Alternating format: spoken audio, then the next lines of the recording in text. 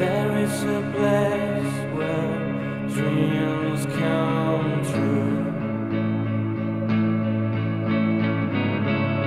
There is a place that nobody knows. The place where I go when I feel alone. Probably you